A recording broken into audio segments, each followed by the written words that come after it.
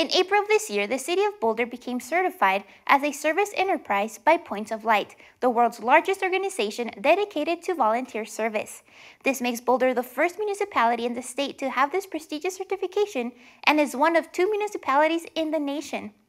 By achieving this level of excellence and certification, the city's volunteer cooperative is now better equipped to leverage the time and talent of volunteers to serve the community.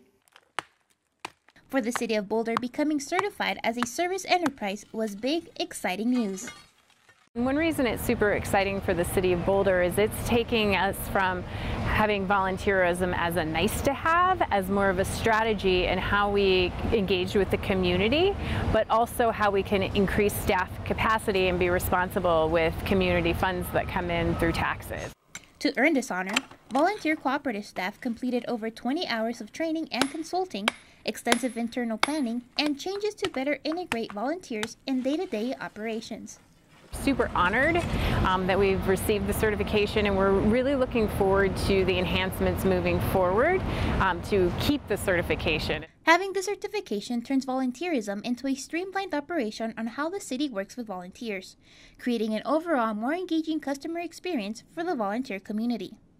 It changes how we internally work with volunteers and that it's not that this department does it one way, this department does it another way, and this department does it another way. It's so community members who volunteer with us understand when they're working with us that they're working on behalf of the city organization and in behalf of the community as a whole. And for the city, volunteerism is one of the perfect opportunities for community engagement. It's an opportunity for community members to really get involved um, in their local government and have a voice as opposed to just showing up and stating what they think. They can really help out. For more information on how you can get involved, please visit bouldercolorado.gov forward slash volunteer.